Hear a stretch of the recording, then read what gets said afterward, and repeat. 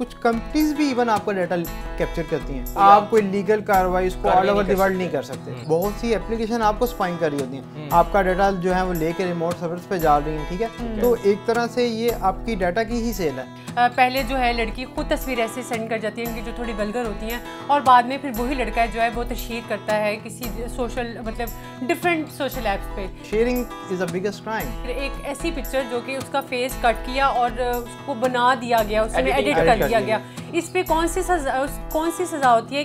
शर्मिंदगी वैसे रिपोर्ट नहीं करते। क्रेडिट कार्ड की कुछ चीज़ें आपसे पूछ लेते हैं और उसके बाद जितने आपके जो पैसे होते हैं वो निकलवा लेते हैं। डाटा आपका जो है डार्क वेब में सेल होता है।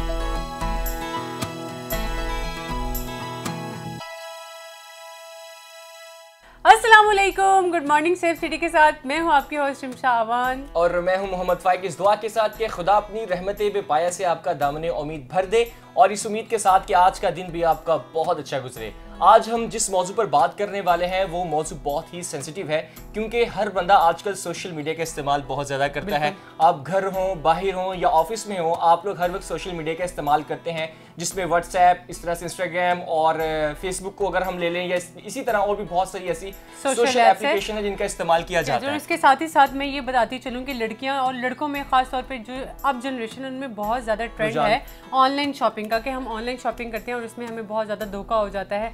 और धोखा होने के साथ साथ दूसरी जो बहुत इंपॉर्टेंट बात यह है कि हमारे जो बैंक अकाउंट की इंफॉर्मेशन है वो हैक कर ली बहुत सारे ऐसे स्पैमर्स होते हैं जो आपको स्पैम मैसेजेस भेजते हैं और आप उसका रिप्लाई करते हैं या रिस्पॉन्स करते हैं तो उसके बाद क्या होता है कि आपकी जो पर्सनल इंफॉर्मेशन है वो हैक कर लेते ली हैं। जाती है ये बहुत ही सेंसिटिव और मेरे ख्याल में कि ये डिस्कस करने वाला मौजूद था लिहाजा आज हम प्रोग्राम में पंजाब सेफ़ सिटीज़ अथॉरिटी के एक ऐसे टैलेंट को दावत दी है जो कि यहाँ पर पुलिस टेक्निकल ऑफिसर की पोस्ट पर मौजूद है लेकिन वो साइबर एनालिस्ट हैं साइबर क्राइम के एनालिस्ट के तौर पर यहाँ पर काम कर रहे हैं उनको दावत दी है उनसे पूछते हैं कि साइबर क्राइम आखिर है क्या और इससे बचा कैसे जा सकता है। उनके प्रोग्राम में वेलकम कहते हैं वालेकुम उस्मान शहजाद कैसे हैं आप? वालेकुम अस्सलाम जी अलहमदिल्ला बहुत शुक्रिया आपकी आमद का।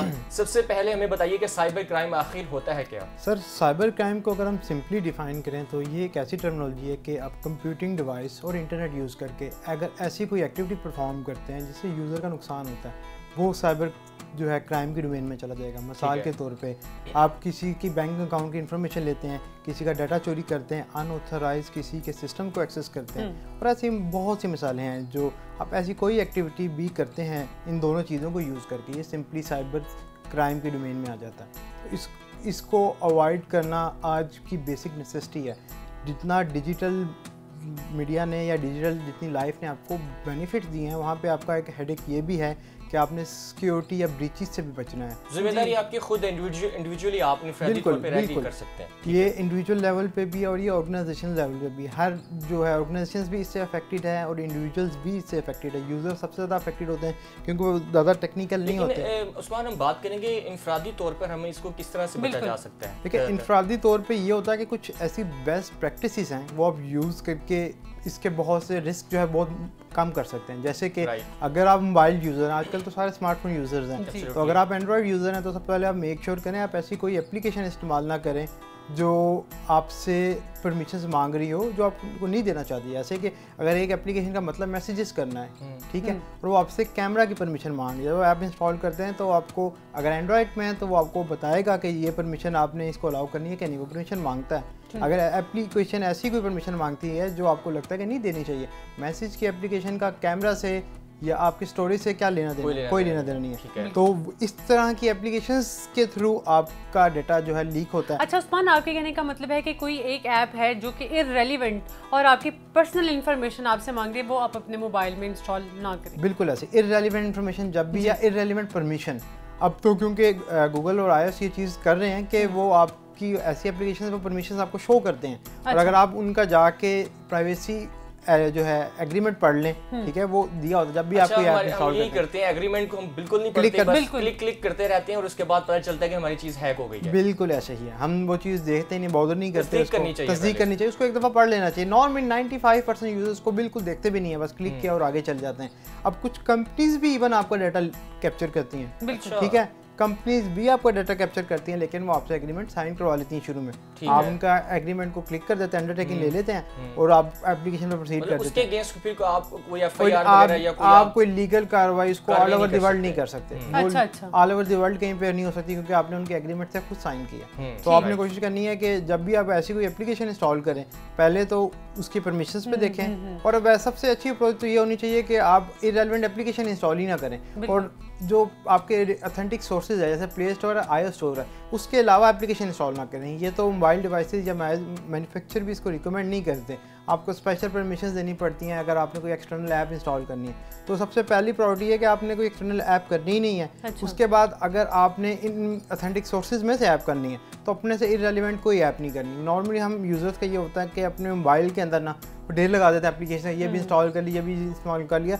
इस्तेमाल वो एगो भी नहीं करते। तो उससे होता क्या बहुत सी एप्लीकेशन आपको स्पाइंग कर रही होती हैं। आपका डाटा जो है वो लेके रिमोट सर्विस पे जा रही हैं ठीक है? तो एक तरह से ये आपकी डाटा की ही सेल है। अच्छा। उसको फिर वो किसी पर्पज के लिए भी यूज़ कर लें। उनकी डेटाबेस में वो आपका पर्सनल डाटा जा रहा है। आपकी एक्टिविटीज़ लॉग हो रही है। तो अपने आपको इन चीज़ों से बचाना चाहिए। ठीक है। अच्छा उस्मान बढ़ते हैं खातन की तरफ़। खातन को हरासा करते हैं। इंटरनेट पे आजकल हम बहुत ज़्यादा ऐसी न्यूज़ देखने में आते हैं जिसमें पहले जो है लड़की खुद तस्वीर ऐसे सेंड कर जाती है इनकी जो थोड़ी बलगर होती हैं। और बाद में फिर वही लड़का जो है वो तशहर करता है किसी सोशल मतलब डिफरेंट सोशल ऐप्स पे। उससे किस तरह बचा जा सकता है? और दूसरी बात जो कि बहुत इंपॉर्टेंट थी, जो कि हमें ये देखने में आई है कि आप कोई ऐसी तस्वीर जो कि वल्गर है, वो आप अपने मोबाइल में भी सेव ना करें, क्योंकि वो भी जो है, कोई भी जिस तरह आपने पहले कहा कि कोई ऐप आप इंस्टॉल करते हैं तो वो अगर आपसे परमिशन ले लेगी अपनी, और अगर आपकी गूगल ड्राइव पर भी पड़ी है, या इवन कहीं पर भी आपकी पिक्चर पड़ी है, आपके मोबाइल में वो भी जो है, वो सेव नहीं है। तो आप उसके से कैसे एजुकेट करेंगे? देखिए सबसे पहले आपने जैसे बोला कि अगर आपकी इस तरह की कोई कॉम्प्रोमाइज पिक्चर्स हैं या डाटा है ठीक है? तो ऐसी चीज़ को तो आपको अपने फ़ोन में रखना ही नहीं चाहिए। पहली चीज़ ये ऐसी लेनी ही नहीं चाहिए। अगर आप लेते हैं तो आप उसको रखें नहीं बीच में। क्योंकि अगर आप फ़ोन में रखते हैं वो फ़ोन फिजिकली किसी के पास जाता है या आप किसी ऐसे प्लेटफॉर्म पे किसी के साथ शेयर कर देते हैं। Sharing is a biggest crime आपको अवॉइड करना है। आप किसी पर ट्रस्ट नहीं कर सकते इंटरनेट की वर्ल्ड पे। आप किसी, अपने फैमिली मेंबर पे भी इस चीज़ से ट्रस्ट नहीं कर सकते। रीज़न ये है कि ज़रूरी नहीं है कि आपका फैमिली मेंबर इसको कॉम्प्रोमाइज़ कर ले। माइट भी आपके दरमियान एक इंटरसेप्टर हो। आप अपनी एप्लीके डाटा भेज रहे हैं, दूसरी साइड बीच में से कोई आपको इंटरसेप्ट कर रहा हो। और डाटा वो उसके पास चला जाएगा। तो ऐसी कोई इमेज ऐसा कोई डाटा आपको पर्सनली फ़ोन के अंदर ही नहीं रखना चाहिए। अगर आपका डाटा इस तरह का ना भी हो वैसे ही कोई इंपॉर्टेंट डाटा हो। ठीक है आप किसी इदारे में भी ऐसा काम करते हैं या आपके अपनी रिसर्च है। पर्सनल इंफॉर्मेशन हो सकती बिल्कुल, है बिल्कुल, या आप- और जी जी। जी चीज़ों से। आपका कोई रिसर्च का डॉक्यूमेंट है या कोई जिसमें आपने पर्सनली चीज़ें मेहनत की हुई है आपको लगता है कि ये आपने इसको कॉन्फिडेंशियल रखना है शेयरेबल नहीं है। हम्म। तो आप उसको ड्राइव्स में रखें और ड्राइव्स में रख के ड्राइव्स को बिट लॉकर से इंक्रिप्ट कर दें और पासवर्ड उसकी भी एक बैकअप बना लें। क्योंकि ये होता है कि एक तरफ़ अप्रोच ऐसी भी होती है कि आप इंक्रिप्ट कर लेते हैं पासवर्ड भूल जाते हैं। अच्छा उस्मान ये करते हैं कि एक लड़की है उसको कोई किसी ने वो हरासमेंट हो रही है उसने कोई पिक्चर सेंड की थी और फिर वो उसकी तशहर हो गई और या फिर एक ऐसी पिक्चर जो कि उसका फेस कट किया और उसको बना दिया गया उसमें एडिट कर दिया गया। इस पर कौन सी सजा कौन सी सज़ा होती है किस तरह अब एक लड़की है लड़कियाँ सारी बात है अपनी आइडेंटिटी शो नहीं करनी पड़ती उसके साथ एक ऐसा मिसहैप हो गया है जो उसने कर दिया है। अब वो अपनी आइडेंटिटी भी छुपाना चाह रही है तो वो किस प्लेटफॉर्म पे जाके एक जो है वो लीगल इस पे कार्रवाई करवा सकती है? ये एक प्लेटफॉर्म है गवर्नमेंट ऑफ़ पाकिस्तान ने बनाया F I A cyber crime ठीक है cyber crime branch N R C को कहते हैं। वो इसी चीज़ को डील करती हैं। अगर आपके साथ इस तरह का कोई प्रॉब्लम किसी के साथ हुआ है उनके दो तीन रिसोर्सेज हैं आप उनको ईमेल कर सकते हैं उनका एक ऑनलाइन पोर्टल है वहाँ कंप्लेन कर सकते हैं या physically F I A cyber crime के ऑफ़िस में जाकर ना आप एक रिटर्न एप्लीकेशन दे सकते हैं ठीक है। अच्छा। उसके बाद वो मामले को टेकअप करते हैं और चीज़ों को इन्वेस्टिगेट करते हैं प्रोसिक्यूट करते हैं और इस तरह के ब्लैकमेलर्स को पकड़ के फिर वो कोर्ट के थ्रू पनिश करवाते हैं। तो हम्म। ये चीज़ है कि एफ़ आई ए की ये गवर्नमेंट की एक प्रैक्टिस होती है कि वो आइडेंटिटी हाइड रखते हैं। इस तरह के वुमेन के रिलेटेड केसेस में ख़ास तौर पर ये बेटर भी होता है कि वो आपकी आइडेंटिटी हाइड रखें और रखते भी हैं। तो वो इशू नहीं है मसला ये है कि हमें अवेयरनेस थी पब्लिक को इतना पता नहीं हम्म, है लोग डरते हैं घबराते हैं कि हम हाईलाइट ना हो जाए। तो अभी तक अगर आप एफ़ आई ए की प्रैक्टिस देखें तो नॉर्मली ऐसा नहीं होता। वो विक्टिम की इन्फॉर्मेशन बिल्कुल लीक नहीं करते। अच्छा वो अच्छा। उनकी प्रोसिक्यूशन टीम और उनके डिपार्टमेंट तक ही रहती है। तो ये चीज़ है कि बस आप पब्लिक में अवेयरनेस होनी चाहिए कि अगर आपके साथ ऐसा हो जाता है आप उसे रिपोर्ट करें। लोग शर्मिंदगी की वजह से रिपोर्ट नहीं करते। और वहाँ पे जब रिपोर्टिंग नहीं होती तो जो हमारे क्रिमिनल्स हैं साइबर क्रिमिनल्स हैं। उनको यहाँ से मजीद फ़ायदा होता है। वो हैं, एक्टिव होते हैं। उन्हें ये है कि हमें पनिशमेंट नहीं मिलेगी हमें कोई पूछेगा नहीं हम्म। ठीक है? तो वो मजीद लोगों को अटैक करते मतलब हैं। आपका फ़र्ज़ सबसे पहले आप उसको रिपोर्ट रिपोर्ट करें करें। रिपोर्ट करें। और वो रिपोर्ट जो है वो करें आप उसके बाद ये कि उसकी आइडेंटिटी भी हाइड रहती है। ये जो क्रेडिट कार्ड्स होते हैं क्रेडिट कार्ड्स हो गया और इसी तरह व्हाट्सएप पे कुछ लोग आपको स्पैम मैसेजेस भेजते हैं जो आपकी पर्सनल इन्फॉर्मेशन को हैक कर लेते हैं। इसी तरह क्रेडिट कार्ड की मैं बात कर रहा हूँ कि आप ऑनलाइन शॉपिंग करने जाते हैं या क्रेडिट कार्ड की कुछ चीज़ें आपसे पूछ लेते हैं और उसके बाद जितने आपके जो पैसे होते हैं वो निकलवा लेते हैं। तो इसको इससे किस तरह से बचा जा सकता है? ऑनलाइन शॉपिंग एक बहुत बड़ा ट्रेंड है ठीक है? इसके लिए आपको सबसे पहले ये देखना ये चाहिए कि आप सिर्फ़ ऑथेंटिक प्लेटफॉर्म्स पे जाएँ। आप अमेजोन पे जा रहे हैं आप अली लेकिन ये किस तरह से पता चल सकता है। कि ये अथेंटिक है? जी जी। ये अब आपको पहले तो खुद चीज़ें चेक करनी पड़ेगी। तो रेनॉन प्लेटफॉर्म्स है ना अमेजोन हो गया आपका जो उसके बाद जो है अली एक्सप्रेस है या हमारे पाकिस्तान में दराज जैसी कुछ ऐसे प्लेटफॉर्म्स हैं। तो अब होता क्या है? हैकर्स या अटैकर्स की अप्रोच क्या होती है? वो आपको एक लिंक भेजेंगे। इसको कहते हैं फिशिंग अटैक वो आपको उसी वेबसाइट का एक रेप्लिका बना के भेज देंगे। वही लुक एंड फील होगी।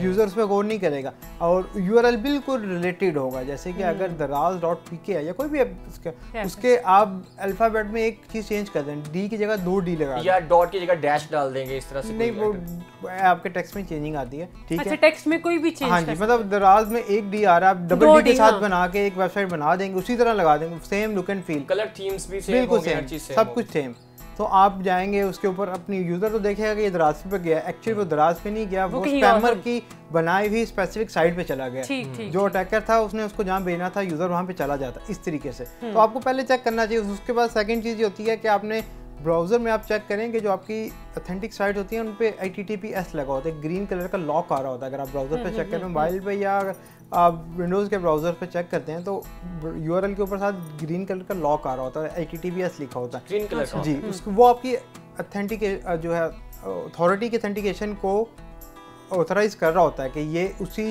इदारे की वेबसाइट है या ये एक्सेप्टेड वेबसाइट है। जैसे कि दराज डॉट पी के है तो वो H T T P S के साथ होगा और उसके साथ ग्रीन लॉक होगा। उसका मतलब ये है कि ये इसकी आइडेंटिटी कंफर्म है Confirm ये है। उसी है ये ये फेक नहीं बनी। नहीं अब नॉर्मली अटैकर्स की जो स्पैमर्स की साइट्स होती हैं वो H T T P H T T P के ऊपर होती है एस के साथ नहीं होती ना वहाँ ग्रीन लॉक आ होता है। तो सबसे पहले आपको यूआरएल को पढ़ना चाहिए। आप किसी वेबसाइट पे भी यूआरएल के स्टार्ट में एच एस लाजमी होना चाहिए। अगर एच है तो फिर वो फेक आईडी है। वो फेक वेबसाइट है सॉरी फेक वेबसाइट नहीं है लेकिन वो क्योंकि आई टी नहीं है वो सिक्योर अच्छा, नहीं है। वो प्लेटफॉर्म। सिक्योर नहीं है। कोई भी ऐसी वेबसाइट कोई वेब एप्लीकेशन जो आई पे नहीं है हम्म। वो सिक्योर नहीं है। वो किसी बड़ी कंपनी की भी हो। नॉर्मली कंपनीज़ बिल्कुल भी इन चीज़ों पर रिलाई नहीं करती वो अपनी सिक्योरिटी को मेंटेन करके रखती हैं। तो ये तो पॉसिबल ही नहीं है ना कि वो इस तरह की चीज़ें ना रखें। हम्म। आई टी मस्ट होता है। फिर आपने उसके जो यू आर है उसको पढ़ना है कि एग्जैक्टली ये दराज डॉट पी के है या अमेजोन डॉट पी के है या अमेजोन डॉट कॉम है ये चीज़ें आपने देखनी है। अब पहली चीज़ आप ये कर लेंगे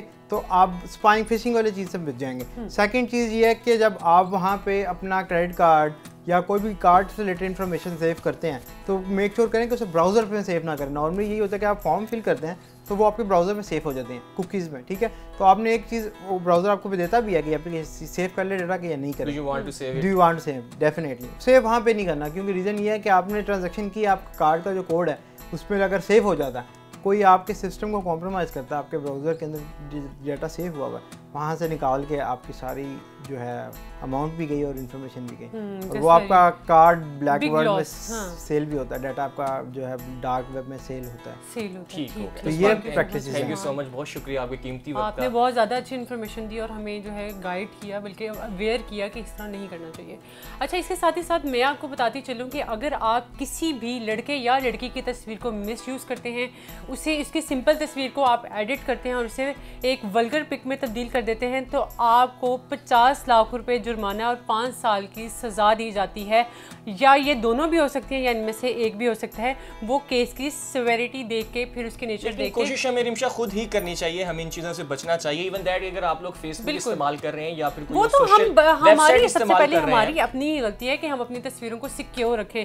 लेकिन मैं ये सिर्फ़ आपको एक नॉलेज दे रही हूँ उन लोगों को जो कि किसी की तस्वीर को एडिट करके लगाते हैं कि। उनको सजा मिलेगी। ये जो है साइबर क्राइम है यानी कि एक ये जुर्म है जिसकी वजह से आपको एक पनिशमेंट दी जाएगी। मोबाइल में कोई भी चीज़ सेव ना करें वो सिक्योर नहीं है। उम्मीद करते हैं कि यकीनन आज आपको काफ़ी इन्फॉर्मेशन हाँ, मिली होगी। नए टैलेंट के साथ हाजिर होंगे। अपना बहुत सारा ख्याल रखिएगा। आप लोग हमें फेसबुक पे ज्वाइन कर सकते हैं।